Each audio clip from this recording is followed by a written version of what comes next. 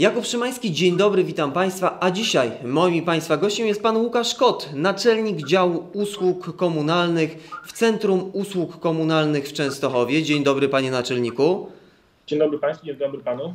Mm, Centrum Usług Komunalnych to taka nowa instytucja na mapie instytucyjnej naszego miasta. Proszę powiedzieć, co to jest za podmiot, czym się zajmujecie? E, Centrum Usług Komunalnych rzeczywiście powstało 1 maja 2020 roku. Jest to jednostka samorządowa, czyli działa na podobnych zasadach jak Miejski Zarząd Dróg Transportu.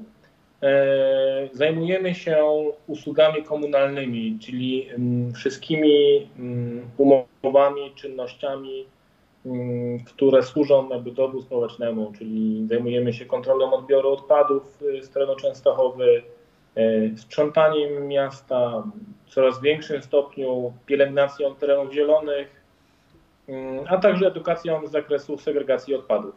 Y, Pan mówi usługami komunalnymi, odpadami, no ale w Częstochowie mamy też Częstochowskie Przedsiębiorstwo y, Komunalne. Wy jesteście w jakimś stopniu, nie wiem, konkurentami, czy wręcz przeciwnie, współpracujecie?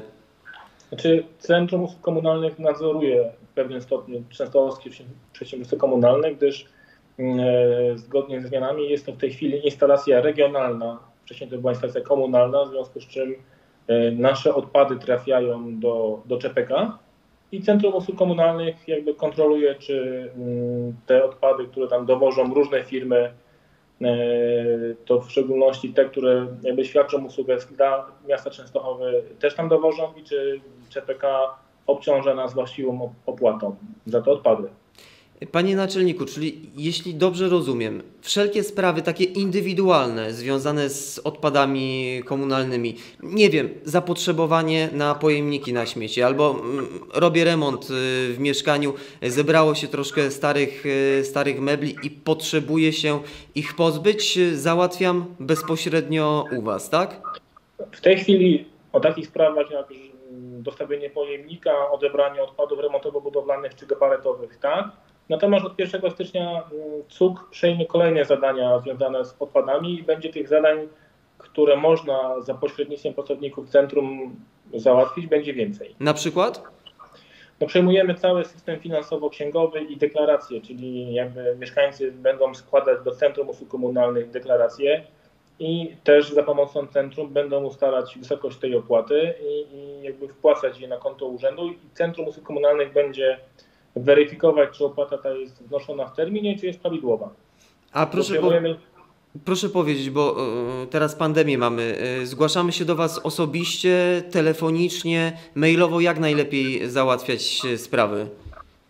Znaczy w związku z tym, że mamy głównie młode pokolenie urzędników, które jest już bardziej komputerowe, internetowe, preferujemy kontakt mailowy, bo jakby poprzez maila można załatwić najszybciej jak najwięcej spraw. Wiadomo, że każdy telefon to jest no, dłuższa rozmowa, bardziej też kurtuazyjna z mieszkańcem, natomiast mail to jest szybkie pytanie, szybka odpowiedź i, to szybciej działa niż telefony, więc preferujemy kontakty e, mailowe. Oczywiście, jeżeli ktoś będzie czuł potrzebę, że musi do nas przyjść, bo nie jest w stanie, mm, nie wiem, mailowo czegoś załatwić, też się z nim umówimy i tę sprawę załatwimy. Na ulicy Nowowiejskiego Was y, znajdziemy, Tak, prawda? Centrum Usług Komunalnych mieści się przy ulicy Nowowiejskiego 10 przez 12, tam gdzie wcześniej.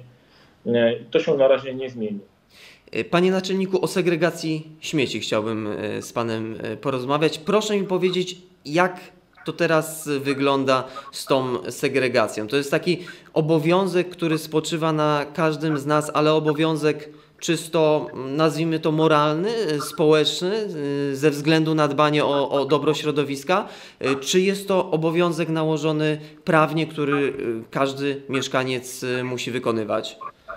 Tutaj się zmieniły przepisy y, prawa krajowego i ustawa, która weszła w życie w roku 2019. Ona zakłada, że w przypadku Częstochowy od 1 lipca tego roku wszyscy opady segregują. Więc też nie ma przypadku, bo, no bo są ludzie, którzy mówią, dobrze, ja nie mam miejsca, ja mogę płacić więcej i nie chcę segregować odpadów. No niestety ustawa tego nie dopuszcza. Ustawa zakłada, że wszyscy segregują. Tutaj segregacja, mm, no ona ma takie znaczenie, że jakby dbamy może nawet nie to, co jest teraz, tylko to, co będzie powiedzmy w Częstochowie, czy na, mówiąc globalnie na ziemi za 15-50 lat. Więc teraz segregując dbamy o to, żeby nasze dzieci i wnuki, mia- wnuki miały czyściej, no bo odpadów przybywa.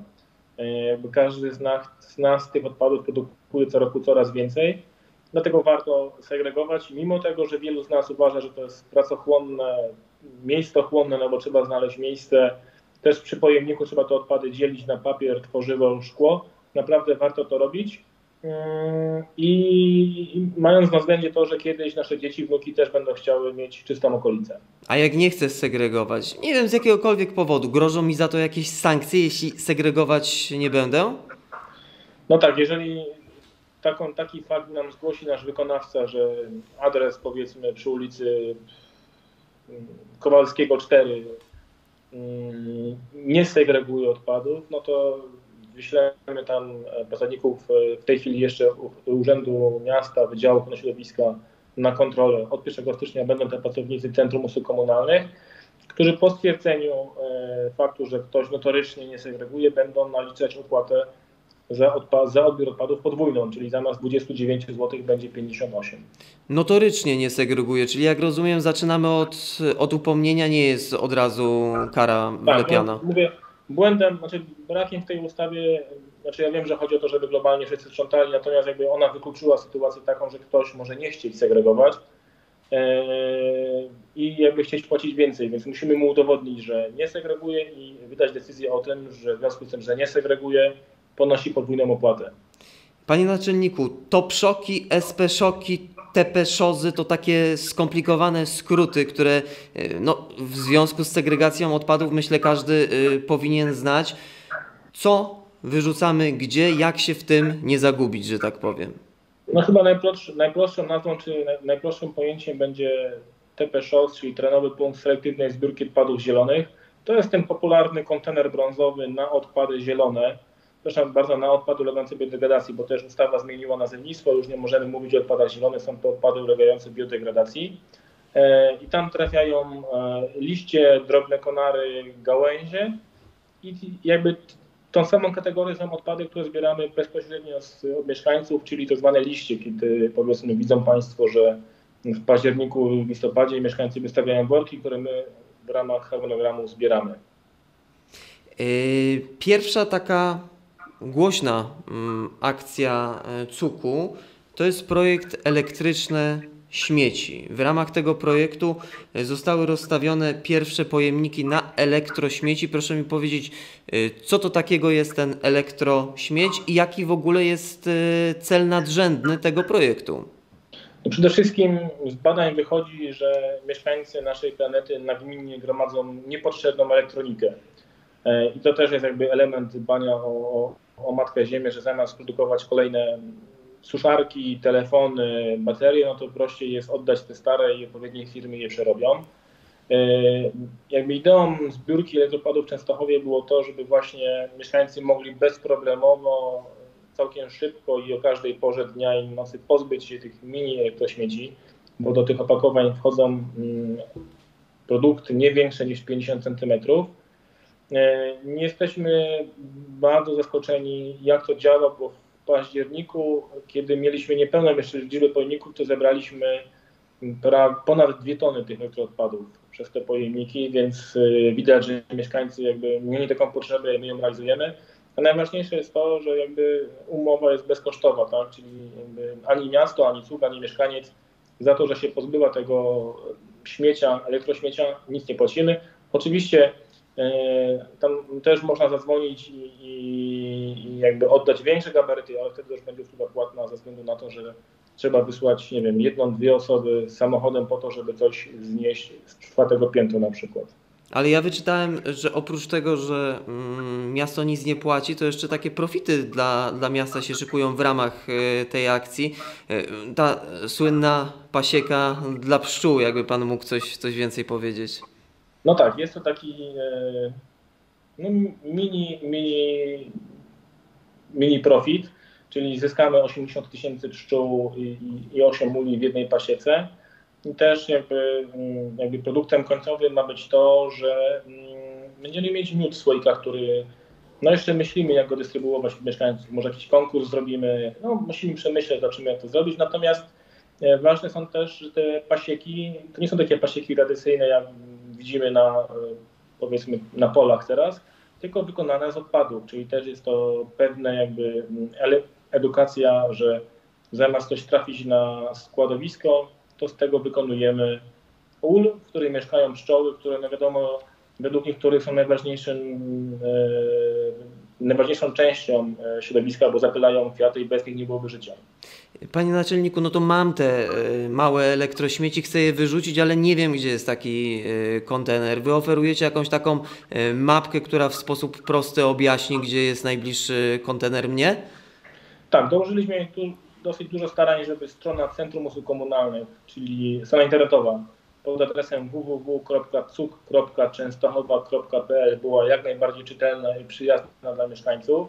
I tam też właśnie jest mapa, czyli pod adresem www.cuk.częstochowa.pl łamane przez mapa e, mieszkaniec nie tylko znajdzie lokalizację czerwonych pojemników na elektroodpady, ale także topszozów czy SP-szoków i e, też punktów top szoku, czyli tam, gdzie można oddać plastik, papier i szkło. Na Wszystko jest na jednej mapie i ona pokazuje najbliższe do naszego adresu, więc bardzo intuicyjnie można znaleźć adres i odwieźć odpady odpowiedniej frakcji w odpowiednie miejsce. Na początku naszej rozmowy Pan e, wspominał o tym, że e, jednym z przedmiotów Waszej działalności jest działalność edukacyjna. No to e, chciałbym zapytać, w jaki sposób CUK ją realizuje? Czy pandemia nie utrudnia? No bo wydaje się, że takim naturalnym sposobem jest prowadzenie tej działalności edukacyjnej właśnie w szkołach wśród młodych ludzi. Tak, no jakby główną, głównym elementem edukacji zawsze były nasze prelekcje, które odbywały się na terenie szkół, e, przedszkoli, odwiedzaliśmy też zakłady pracy, nawet uniwersytety trzeciego wieku, natomiast no, od wiosny jest w tym problem, w związku z czym koncentrujemy się na materiałach edukacyjnych, e, na tym, żeby tworzyć filmy, które możemy pokazać mieszkańcom, bo wiadomo, że film, obraz jest najlepszym nośnikiem informacji E, w przyszłym roku będziemy myśleć o tym, żeby wykonywać prelekcje zdalnie, czyli będziemy gdzieś prowadzić powiedzmy prelekcje online mm, dla chętnych. Mm, natomiast jakby to, co się teraz dzieje, czyli te poziomy, które miasto uzyskuje, no wskazuje, że ta edukacja działa, no bo e, ostatnio nawet miasto dostało nagrodę za jedne z wyższych e, poziomów odzysków w skali kraju. I to nas cieszy, bo to jest taki wymierny skutek tej edukacji, która pokazuje, że działa coraz lepiej. Czyli innymi słowy, y, Częstochowianie dobrze radzą sobie z segregacją odpadów i chcą je segregować. Tak, jest duża grupa mieszkańców, która chce segregować, segreguje, robi to bardzo dobrze. Jest też, oczywiście są przypadki, że ktoś nie chce segregować notorycznie, ale to jest promil jakby mieszkańców. Mm, z roku na rok te współczynniki są coraz wyższe, więc no teraz nas czeka też przeskok kolejny 10%. Mm, no i staramy się robić wszystko przez cały rok, żeby mieszkańcy, żeby mieszkańców zachęcić do tej segregacji. No nie można ich zmusić, możemy tylko zachęcić i staramy się dorobić. Zmieniamy pojemniki. W ogóle też widzimy, że na przykład, że kiedyś, jeżeli chodzi o zbiórkę odpadów selektywnych, czyli papier, szkło, y, metal, wystarczało powiedzmy na zabudowie wysokiej, czyli pomiędzy blokami raz w tygodniu, a już teraz jeździmy dwa razy w tygodniu i są jakby wiaty, gdzie mieszkańcy mówią, że chcieliby nawet trzy razy, żebyśmy odbierali. E, więc widzimy, że spada nam ilość odpadów niesegregowanych, a rośnie e, ilość odpadów segregowanych. Wy macie jakiś pomysł, jak zaradzić problemowi dzikich e, wysypisk? Czy może ten problem już nie jest tak poważny, jak był no, te 2-3 lata temu? Jest to bardzo duży jakby problem, jakby też, bo te odpady mogą powstać wszędzie. Ciężko jest monitorować jakby całe miasto, całą dobę, często jest tak, że ktoś wieczorem czy po ciemku przyjedzie i wysypie, wysypie jakieś odpady. W związku z czym no, mamy taki pomysł, będziemy chcieć raz, że chcemy więcej wymagać od służb, od służb, czyli od policji, od straży miejskiej, czyli każde takie zgłoszenie traktujemy poważnie. Jeżeli możemy i widzimy szansę, żeby namierzyć sprawców, to w pierwszej kolejności piszemy do Straży Miejskiej albo do Policji o to, aby spróbowała znaleźć sprawcę tego wykroczenia. E, ale z drugiej strony no też prosimy mieszkańców, żeby byli uczuleni, że jeżeli widzą, że ktoś w sąsiedztwie na jakimś terenie nieogrodzonym, terenie nieurządzonym mm, zachowuje się nieodpowiednio, wysypuje odpady, to wystarczy to zgłosić, a my przekażemy to odpowiednim służbom. I to nie jest tak zwane kablowanie, tylko tak naprawdę dbanie o wspólne dobro, czyli naszą planetę. Oczywiście, no tego się trzeba nauczyć, że to nie jest kablowanie, to jest pilnowanie porządku i, i jakby mimo tego, że przez długi okres uczono nas, że nie należy takich rzeczy mówić, no to teraz należy, tym bardziej, że sprzątanie dzikich wysypisk jest e, finansowane z opłaty za, e, za wywóz odpadów, czyli im będzie więcej tych dzikich wysypisk, im będziemy ich więcej sprzątać, też będą tego większe koszty dla wszystkich mieszkańców. To tak na koniec, jakie są największe wyzwania stojące przed miastem Częstochową w związku właśnie z gospodarką odpadami? Rzeczone dzikie wysypiska, czy, czy, czy jednak problem leży mimo wszystko gdzie indziej? Pierwszy krok, który chcemy zrobić, to jest jakby uszczelnienie systemu. Wiemy, że jest pewna grupa osób, która jakby nie deklaruje odpowiedniej liczby osób, czyli takie prawidłowe, które jest na nieruchomości, albo deklaruje ich za mało. To też powoduje, że inni płacą więcej, bo nasz sąsiad na przykład nie płaci za tyle za odpady, za tyle osób, ile ma w systemie, a produkuje śmieci więcej. Więc jakby pierwszym krokiem, które czeka miasto, to jest uszczelnienie, tak? W związku z czym e, jakby powoli dochodzimy do tego, żeby na naszych autach e, był monitoring i też żebyśmy obserwowali, co kto wyrzuca. E, Dążymy do tego, żeby pojemniki wszystkie na terenie miasta miały tag RFID e, przyklejony, który nam też pokaże, kiedy, ile razy e, firma transportująca go opróżniła. I dzięki tym wspólnym działaniom i dzięki temu, że przejmujemy kontrolę, będziemy mogli właśnie weryfikować, bo w pierwszej kolejności w przyszłym roku chcemy się skoncentrować na tych osobach, które w sposób niewłaściwy złożyły deklarację. Dziękuję bardzo panie naczelniku. Moim i państwa gościem był pan Łukasz Kot. Dziękuję serdecznie. Do widzenia.